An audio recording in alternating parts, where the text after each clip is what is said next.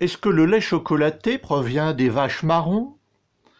Les dinosaures ont-ils disparu parce qu'ils ne sont pas allés chercher à temps des nouilles et du papier hygiénique? Aucune de ces questions ne trouvera sa réponse sur Vous avez le droit.